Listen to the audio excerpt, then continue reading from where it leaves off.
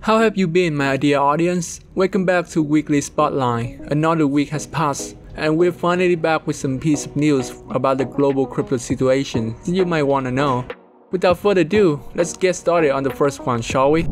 Firstly, we have a wonderful news from one of the biggest social media, Meta.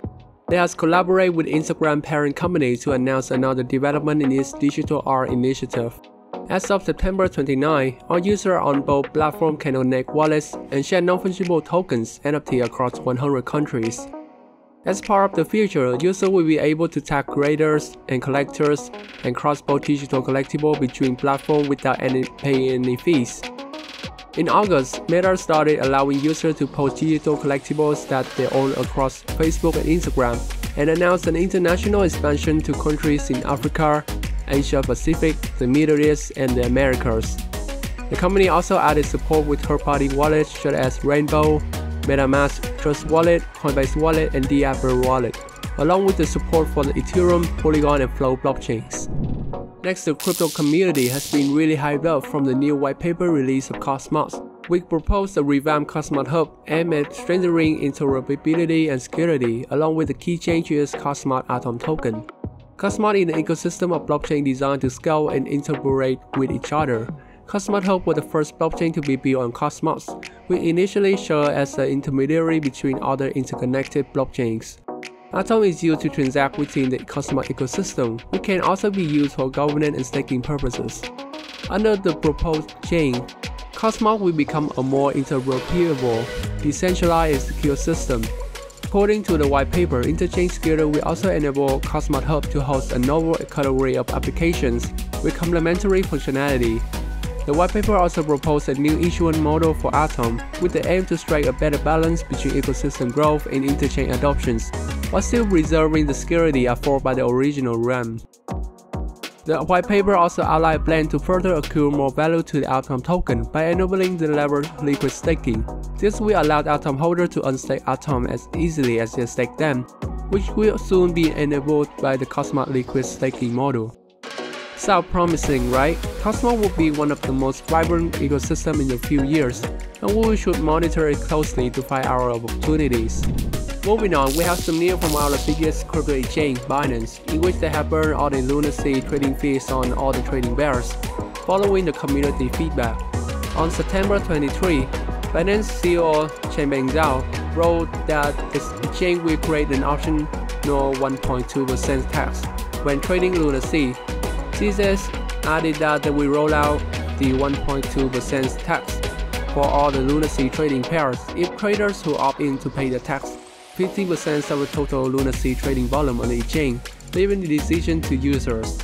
However, the day after the post, CZ laid out the flaw of their previous plan. Because of this, Binance announced a revised method to support the revival of LUNC. According to CZ, the exchange will now completely burn all the trading fees that it collects from its LUNC, BUSD, and LUNC USDT spot and margin trading bears. The fees collected will be converted into LUNC and sent to the LUNC official burning address. Through this, the Binance CEO believes that the exchange will be able to contribute to decreasingly supply of LUNC and the fair to all users.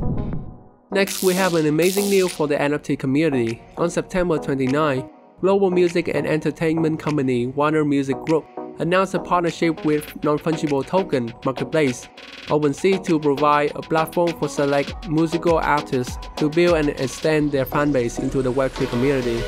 According to the release, the collaboration between these two entities will allow select Warner Music Group artists to get early access to OpenSea newly rolled out feature. We enable artists to launch the NFT collections and limited editions project on their own customizable and dedicated graph page.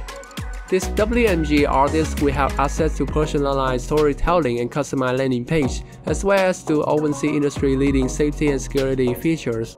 The partnership aimed at helping WMG artists build new Web3 community intends to introduce existing fan community to OpenSea to the new form of connections and creativity through NFTs, and open up new opportunity for fans to engage with music and NFT within the Web3 community.